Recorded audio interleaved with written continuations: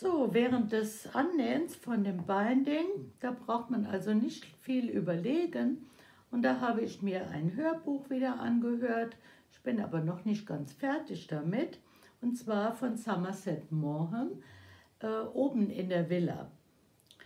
Also, es ist die Geschichte einer Frau, die nach ihrer Ehe, also ihr Mann ist tödlich verunglückt, äh, nach ihrer, nachdem der also verunglückt war, hat sie sich eine Auszeit gegönnt in Florenz und dort äh, hat sie ein paar Erlebnisse, also ihr Anwalt aus in England hatte ihr geraten, dass sie sich ein Schloss mietet, und zwar über den Hügeln oder über den Dächern von Florenz. Und sie hat sich dort sehr wohl gefühlt. Und es haben sich dann in der Zeit, hm, haben sich also drei Menschen angeboten, sie zu heiraten. Also hm, das ist eine sehr schöne, leichte Lektüre und versetzt einen ins vorige Jahrhundert. Und ich kann euch das nur empfehlen. So, jetzt habe ich hier Maschen fallen lassen. Die muss ich jetzt sehen, dass ich die aufhebe. Gerade am Rand, das ist ja so ärgerlich. So, gut.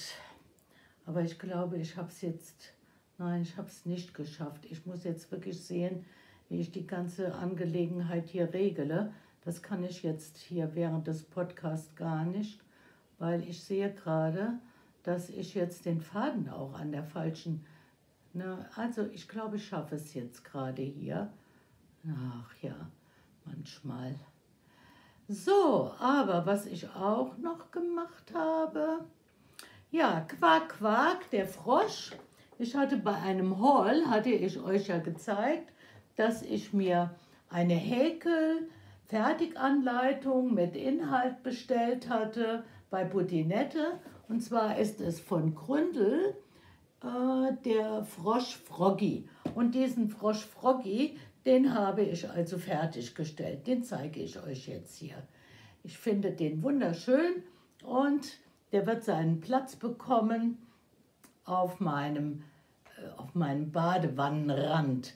Jetzt hätte ich beide, beinahe wieder gesagt Badezimmerrand, aber den Versprecher, ja, man macht ja, wenn man einmal einen Versprecher gemacht hat, dann macht man den ja immer wieder. Also auf dem Badenwannenrand wird er sitzen und wird dort sehen, wie ich mein Bad genieße, in das ich, also in das Badewasser gebe ich ganz oft von Kneipp dieses Melissenbad, also ein entspannendes Bad passt jetzt zum Tee. So, in der Packung, da sind, ist einmal die Anleitung, dann sind die Baumwollgarne, nur der, hier diesen Knopf, den habe ich noch in meiner, äh, in meiner Knopfkiste gefunden. So, das. Dann nehme ich ja teil noch an dem Seelenbonbon-Tuchkall von Willow 01 oder Willows Gestrick. Da habe ich hier mir die Anleitung ja gekauft für dieses Seelenbonbon-Tuch und zwar bei Fadenstille. Und da kann ich euch berichten, man muss zwar bei jeder Reihe zählen, aber die Anleitung, die ist sehr, sehr schön denn äh, man sieht einmal so einen Chart, aber unten sind die einzelnen Reihen auch beschrieben. Damit komme ich selbst am besten klar. Ich bin noch nicht sehr weit gekommen, aber naja, mit der Zeit wird es wohl werden. Ich zeige es euch dann. Also ihr findet die Anleitung bei Fadenstille, das Seelenbonbon-Tuch wenn ihr an dem Nittelong teilnehmen wollt, also wenn man diese äh, oder die fertigen Werke nachher postet, man hat Zeit bis Juni, dann nimmt man auch an einer Verlosung teil.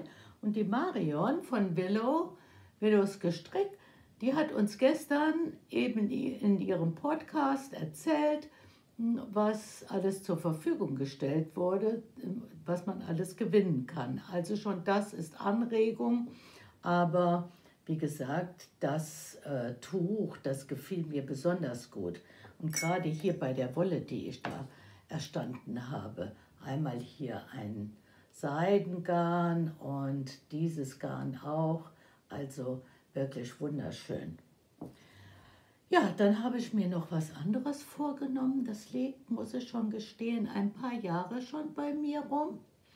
Und zwar erinnert es mich an unsere Mutter, die vor drei Jahren ist sie verstorben und äh, bevor sie ja die letzten Jahre äh, hat sie also sehr oft bei mir zugebracht, entweder im Sommer im Garten oder im Winter hat sie bei mir im Wohnzimmer gesessen, am Fenster.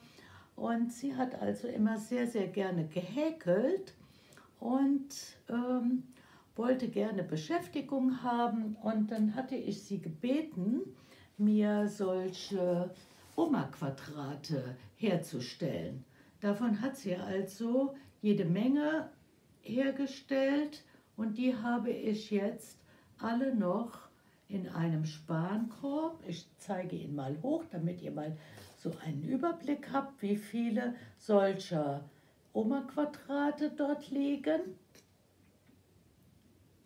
Und jetzt habe ich mir vorgenommen, diese Quadrate, also das sagt man ja auch Granny Squares im englischen Sprachraum, ich habe mir vorgenommen, die jetzt alle mal aneinander zu häkeln und ein Teil habe ich davon schon geschafft. Und zwar mache ich das mit einem grauen Garn und